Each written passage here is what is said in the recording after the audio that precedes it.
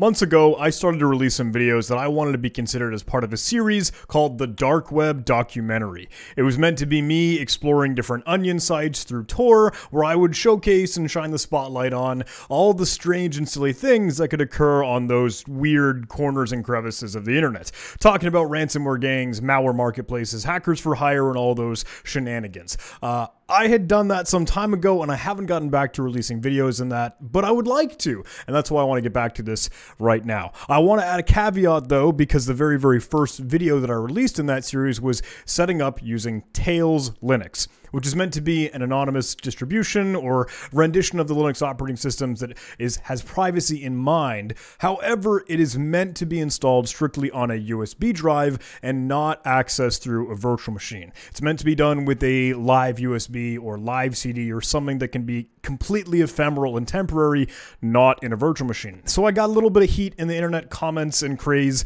and I thought, okay, let's do this better. A lot of folks suggested using Whonix or W H O N I X. So in this video, we're going to set up Whonix and get back into action. So if you aren't familiar with Whonix, Whonix is a Kicksecure based security hardened Linux distribution. Its main goals are to provide strong privacy and anonymity on the internet. The operating system consists of two virtual machines, so dedicated virtual machines here, a workstation and a Tor gateway running Debian or GNU Linux. All communications are forced through the Tor network. That sounds great.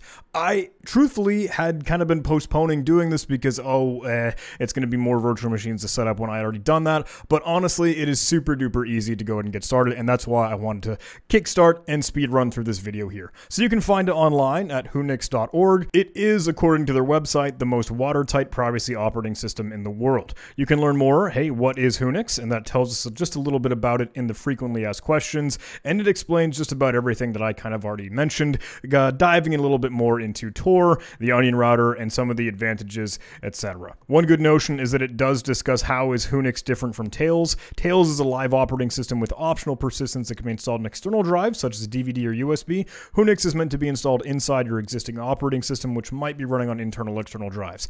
You can do it in a live mode, but there is no Whonix Live ISO at the time of writing. However, that may change in the future. Anyway, we can go ahead and download Whonix, and the website explains it is available on the following platforms. Personally, I'm going to end up using VirtualBox. There is a big emphasis on using VirtualBox because it is a free and I believe open source hypervisor or virtual machine runner rather than VMware Workstation. So we could go ahead and download all these things here. You could use different options, whether you want a graphical user interface for the gateway or the text terminal only with a command line interface. Uh, truthfully, I'll go ahead and click on that graphical user interface one and it will bring me to the download link.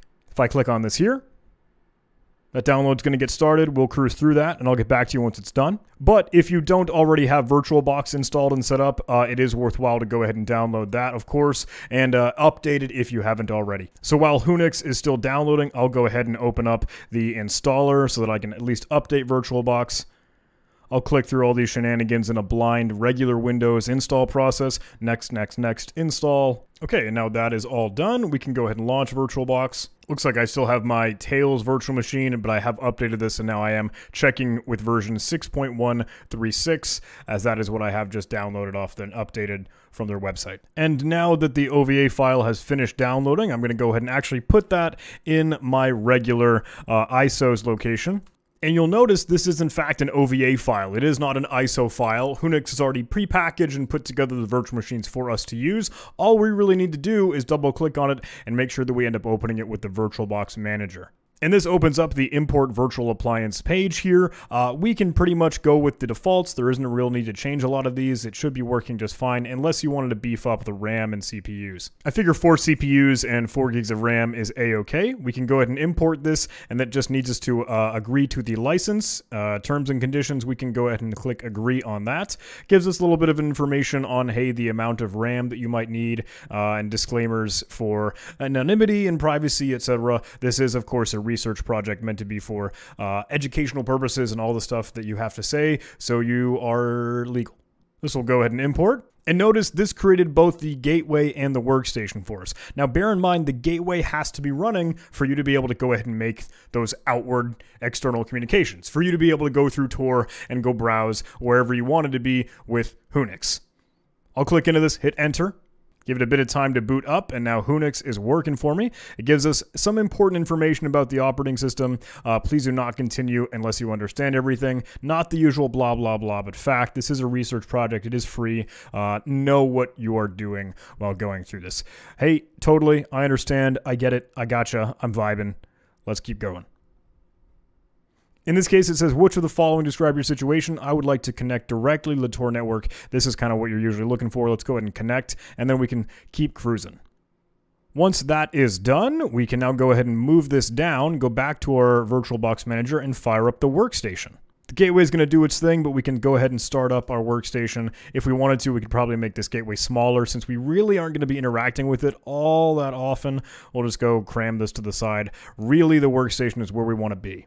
Here you get the same blurb and disclaimer. Make sure that you know what you're doing and you understand the implications, blah, blah, blah. Although it is, it does say, hey, it's not just a blah, blah, blah. But seriously, now we're here. Let me hit full screen mode. You can see, oh, we're going to go ahead and wait for our Tor connection.